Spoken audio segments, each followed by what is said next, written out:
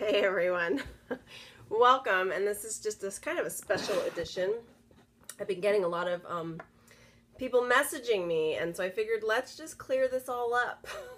so, welcome, Melody. Um, hi, Regina. Glad to see you guys. Taylor joined. Um, thank you, Christy, for inviting your followers. I totally appreciate that. Um, I'm not going to share with you the exact website that this is from. Hi from Kentucky. Hey, Sarah. Uh, I am going to, though, share with you some of the interesting, um, oops, hype, sorry. hey, Jennifer Kelly, nice to see you here. Um, thank you, Melody, for inviting followers. Always helpful. Um, I'm going to share with you something because it's something that would take a very long time to discuss. Um, but the more I'm thinking about it, I don't know that it is a long time to discuss. So we're just going to discuss it here. And the message that I keep getting, and I will quote to you what this says, but I'm not going to share with you the actual website that it is from. I think many of you could figure it out. Um, it's not a big deal. Let me see if I can find it here. I had it up and then I didn't have it up. Let's see. Um, the thing that you're hearing, so okay, let's just back up for a second. There is there was a lot of misunderstanding about how the distillation process worked. And so I was trying to help clear that up. But in the process, I think a lot of people jumped on the wrong side of that bandwagon. What I mean by that is um, people started talking about the distillation process of it being like a tea bag, right? And like it's like the first distillation is like the freshest, best, and then as it gets distilled, it's like using a tea bag over and over again. That is incorrect. So I was trying to kind of like teach what the distillation process was. And in the process, we started talking a lot about first distillation versus complete. And I see that everywhere. It's not from me, it's rampant around the internet. And so um, it's interesting because that has become a very hot topic, meaning people will say, well, all your oils are complete distills and ours are all first. Well, that's an incorrect statement as well because not all of our essential oils are first distills. Um, but most other companies are complete distills. So what does that mean, right? And you have to understand language, and that's what I try to kind of help you guys understand when it comes to marketing as well. And that it's very tricky how people will write something and it kind of implies something, but it doesn't say the whole story. So I'm going to try and help you understand somewhat of the whole story here with this post, with this Periscope. Okay, so I'm going to quote Some have asked about the difference between first distillations in comparison to complete distillations. Truth be known, almost all essential oils are distilled in a single process. So a first distillation and a complete distillation are one and the same. Okay, that is what you're starting to see a lot of companies post something to that effect where they're saying, look, people, there's no difference. So stop bugging us. um, went on a bike ride today, so I'm like all, whew. Okay, part of the issue is that everybody is calling all these companies and saying, do you have a first distill or a complete distill? They all answer complete distill because they are all complete distills. However, they're answering that partially out of ignorance because they are not the people that are bottling or processing or doing any of it. They just know that their oils are complete distills. I've also found a lot of ignorance in the salespeople with their own assumptions. And so they're assuming you're asking a, a question when you're actually asking a trick question. So you're asking, because you understand virgin olive oil compared to extra virgin olive oil compared to extra extra virgin olive oil. They are assuming, like what we originally assumed, that complete distill means that it's the best. When we now know that no, extra extra virgin olive oil is better than virgin olive oil. but because of the terminology, it seems a little bit funky. So, the thing I want you to start understanding and stop promoting poorly is the fact that every single company gets their oils, and I'm not talking about in blanket form, right? Because, like, let's say a company carries 40 different oils.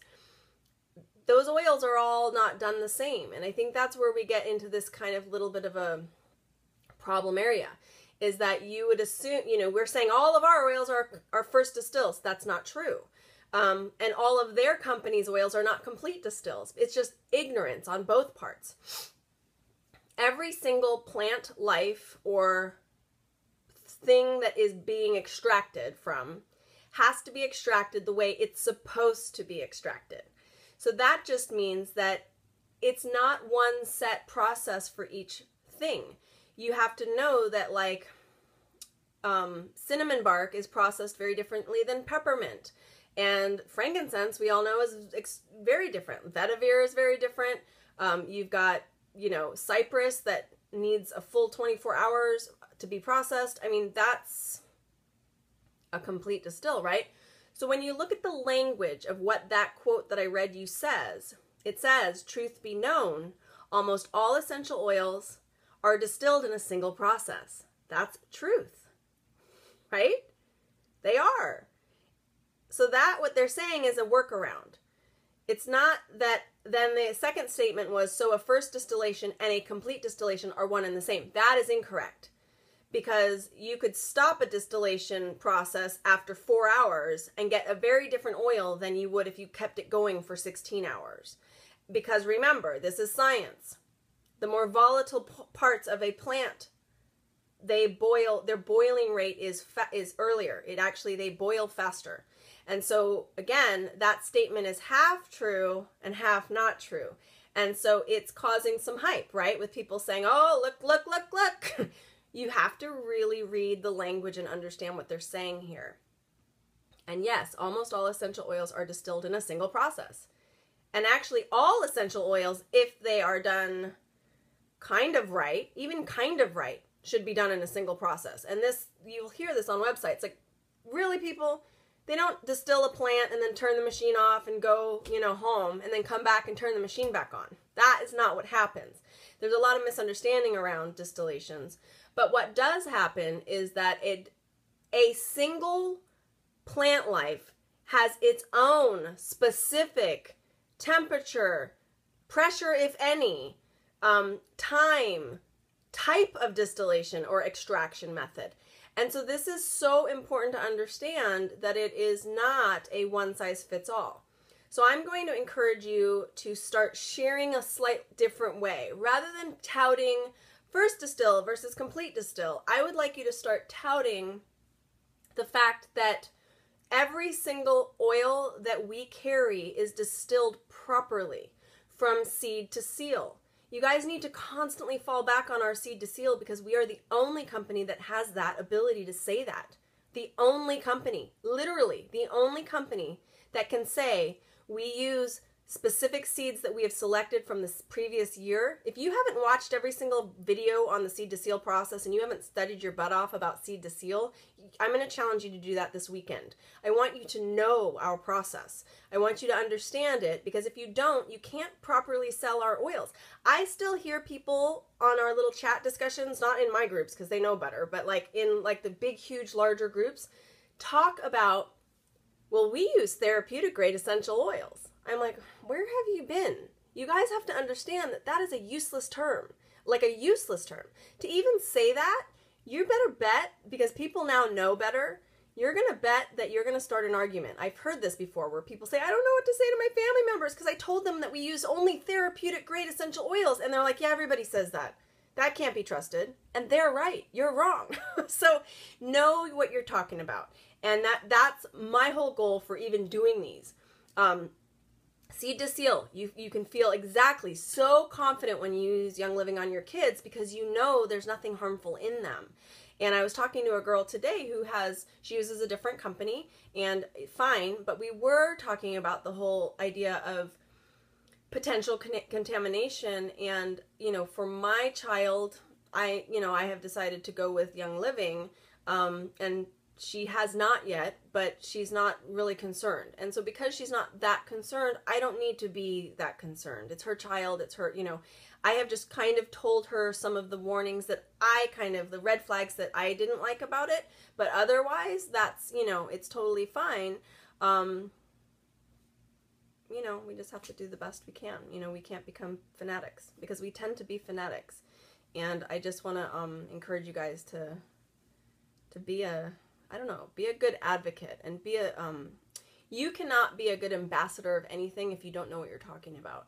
And I think oftentimes too many people choose not to say anything, like they're nervous because they don't know enough. Well, you really don't need to have that much education. You just need to have the right education. So, my encouragement to you is to go to Seed to Seal today. Watch it with your kids. It's so fun to watch with your kids, but watch it over and over again until you really have a good handle on it. I encourage you to write notes and maybe reiterate it in your own words. It's kind of like how i study the bible and it's important for you to really get it in your in your body of as far as like your understanding of it. And then explain it to as many people as you can. You're never going to get good at explaining it to people if you don't explain it to people. So practice. Get outside of your comfort zone. Um, you know the first time i ever did a 101 class which in my book is all scientific stuff i put i did it online like you can actually go see my very first time I ever did an oil 101 class was on YouTube.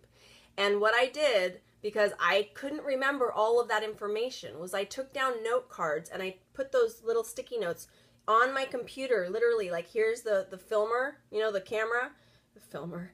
And um, I put sticky notes all around the note, okay? So literally all around were the notes. Um, Rustique, Rustique Lux, cute name. Um, if you want to join Young Living, you can contact me directly at jen at jenosullivan.com and I will help walk you through that process. So you can go to youngliving.com. Um, I would become your oil lady. So I don't really ever sell on these, but anybody who ever asks, I just let you know that you have then full access to me. And that means that you're just one of my people and you're going to get a bunch of um, education from me and personal one on one stuff. So it's a little bit different. Um, you guys all have access to me here but anyone else who is wanting to get on board with Young Living, if you don't have Young Living, or if you're using another brand and would like to try Young Living, just contact me directly. So it's jen at jenosullivan.com, or you can call your own oil lady. I know there's a lot of people on here who don't have oils yet, but have a friend that actually is a distributor of Young Living. Please go with them, okay? Um, it's just, it's totally your call. Uh, so anyhow, back to that 102 class, I had sticky notes everywhere with every single point I needed to make and um, thank you. I'm glad. That's the point. I try to. I try to make it make it as uh, easy as possible, and I don't mince words, and I don't like hype. So you guys know that the book I just um, published is like the facts without the hype.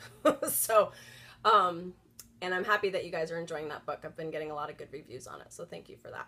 So anyhow, um, I love oils. I think it's important for you guys to teach yourself by teaching others. Don't be scared. Don't be scared of teaching. Okay, the book is called The Essential Oil Truth, and so you can go on um, www.theessentialoiltruth,